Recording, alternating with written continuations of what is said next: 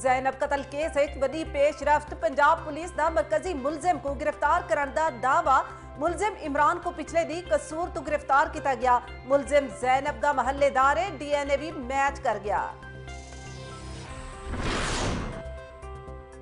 ਵਜ਼ੀਰ ਆਲਾ ਪੰਜਾਬ ਸ਼ਹਿਬਾਜ਼ ਸ਼ਰੀਫ ਇੱਕ ਰੋਜ਼ਾ ਦੌਰੇ ਤੇ ਅਲਈਆ ਪੁੱਜਦੇ ਪਨ ਕਈ ਮਨਸੂਬਿਆਂ ਦਾ ਸੰਗੇ ਬੁਨਿਆਦ ਤੇ ਇਫਤਤਾਹ ਕਰੇ ਸਨ ਜਲਸਾ ਆਮ ਤੋਂ ਖਿਤਾਬ ਵੀ ਕਰੇ ਸਨ ਸਿਕਿਉਰਿਟੀ ਦੇ ਵੀ ਸਖਤ ਇੰਤਜ਼ਾਮਾਤ ਮੀਡੀਆ ਅਦਾਲਤੀ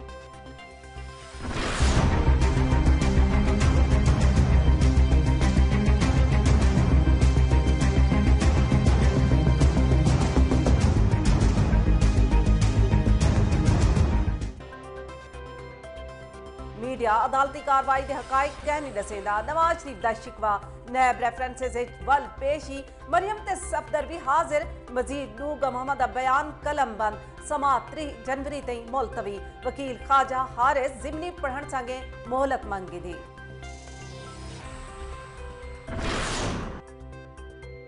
کراچی نادرن بائی پاس نل بس تے ٹرک تصادم، پنج بندے جاں بحق پندرہ زخمی۔ بس ہب تو لاڑکانہ میں دی پئی ہے وزیر داخلہ سہیل انور سیال دی ہسپتال زخمیاں دی عیادت، بہترین طبی سہولتاں دی ہدایت۔